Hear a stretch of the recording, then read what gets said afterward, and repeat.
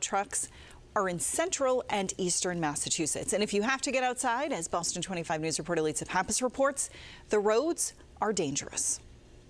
Driving around tonight was a challenge, especially when that heavy snow was coming down. Now it's more of a wintry mix and even rain at times, still leaving some slick conditions across our area.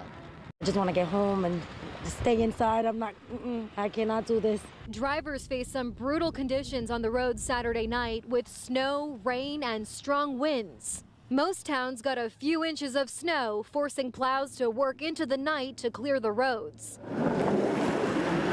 I like snow, I like the winter, but not necessarily. This might be a little too much. Visibility was poor on the highways as heavy snow came down for a few hours. Getting around was a challenge, even for those who are used to this.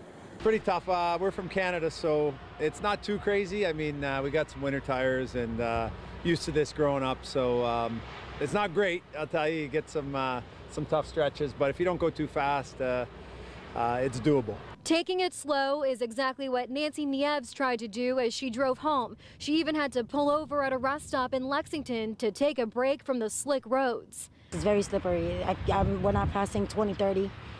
It's very dangerous. It's, it's, I recommend stay inside. But for some, staying inside wasn't an option.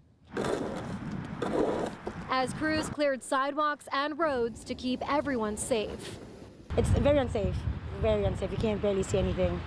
It's lanes, nothing. It's horrible. I don't like it. Going back home and staying home. Back out here in Lowell, you can see some roads and sidewalks are still covered in snow and slush. So if you're heading out in the morning, you'll want to take it slow in case a lot of this ice is over. In Lowell, I'm Lisa Pappas, Boston 25 News.